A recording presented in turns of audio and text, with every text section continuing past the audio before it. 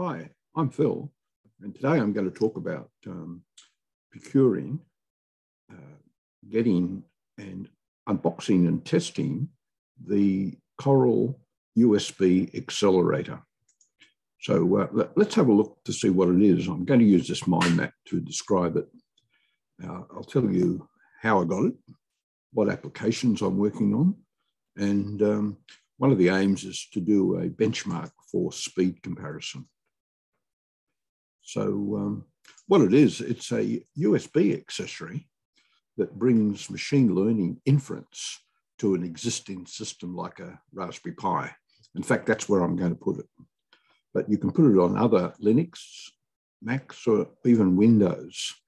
But um, the uh, standard reference for development is a, a Linux system like a Raspberry Pi. And um, what it's supposed to do is uh, machine learning inference. So um, the version I've got uh, goes up to uh, four tera operations per second. And uh, these all relate to um, the machine learning inference. It also has a very good power performance. So we're talking about um, half a watt for each top and um, how that might translate. If you have a model in MobileNet, for example, you can get up to about um, 400 frames a second. So um, the systems that I'm interested in are TensorFlow, and um, the models that I've got are uh, already created as demonstrations. So how did I get it? Well, I first went on to uh, Seeed, and at 60 US dollars plus shipping, it just wasn't available. There was just no way they could get it. But I could get it on Amazon if I was prepared to spend $350, quite a markup. And it's one of these devices in the scarcity of um, chips at the moment, where um, it's in big demand uh, and there are few suppliers. But I did look around and it was possible to buy it on a German website by zero. And even though it was marked up, uh, I was able to buy it for um, 80 euros uh, plus uh, shipping. And it arrived just a couple of days ago. So, uh, what am I going to use it for? It'll be used in STEM education to demonstrate machine learning and particularly uh, accelerating the process of inference.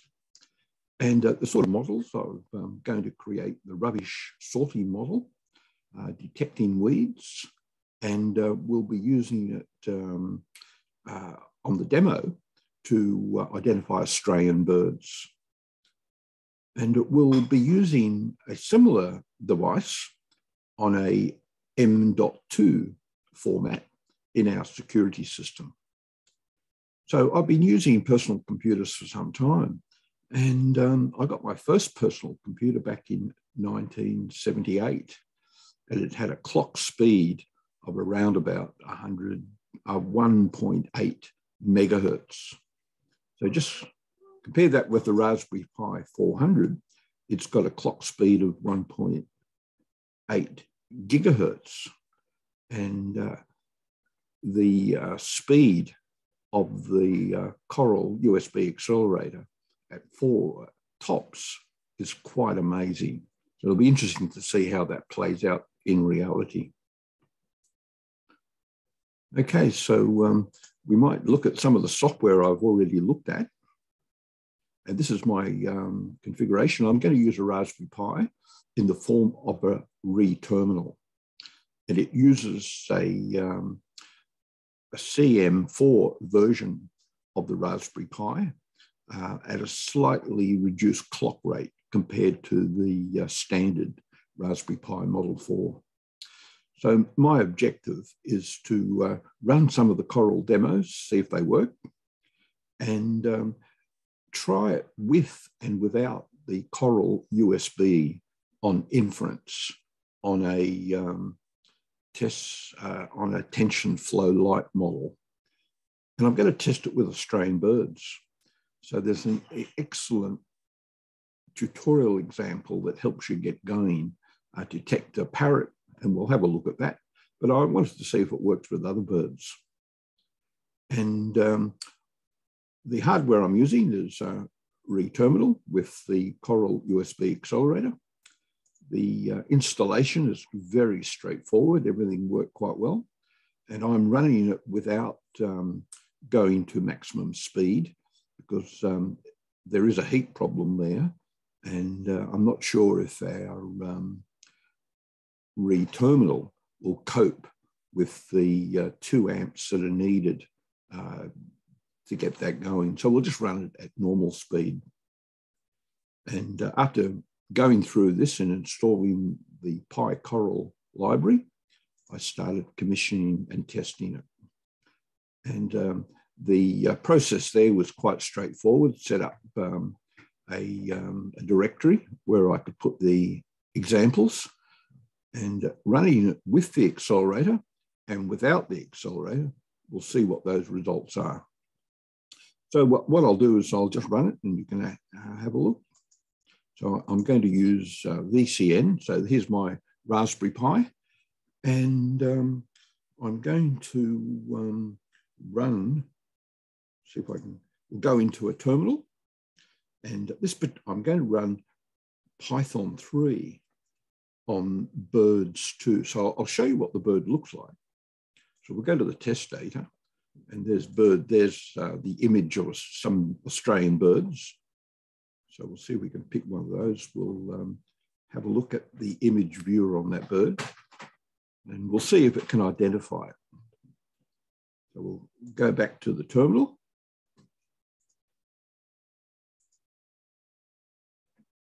And we'll run that model.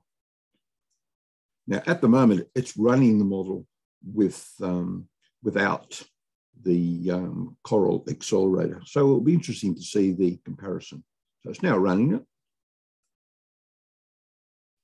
And it's come up with the results. So you can see that the inference over here is done it um, five times and um, started off with a slightly longer time of 126 milliseconds and ended up with 119.9 milliseconds. And it um, guessed within a probability of um, 58% that it was um, a yellow-billed magpie, which is one of our local birds. And that was correct. So um, that was a good result. Now we might actually go and see what happens when we um, uh, run that program.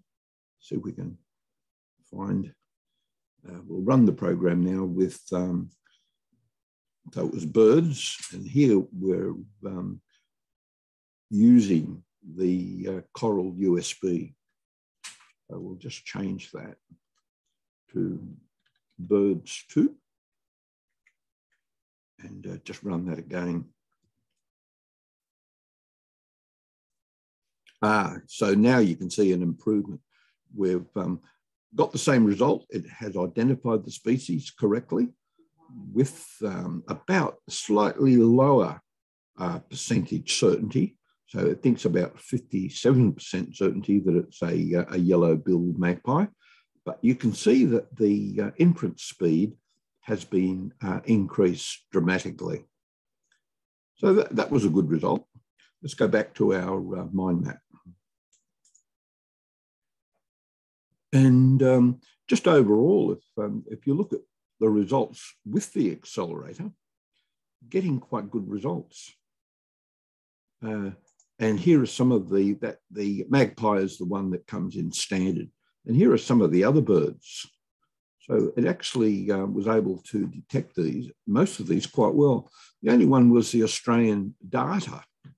Uh, one view of um, that bird was successfully detected but not with a, a very high um, inference percentage, only about um, 19%. And all these images came from Wikipedia. And the other one, uh, it got wrong, but it did get the uh, part of the correct species, even though it didn't get the exact um, bird. Uh, another example is the um, Australian wood duck. And here it was able to uh, detect that uh, with a uh, certainty of um, 79% and uh, fairly good inference. And that inference um, speed would um, uh, be increased um, by a factor of about um, 10 or more if I wasn't using the uh, Coral USB. Okay, so um, that was interesting. Uh, so um, that was a successful series of commissioning tests.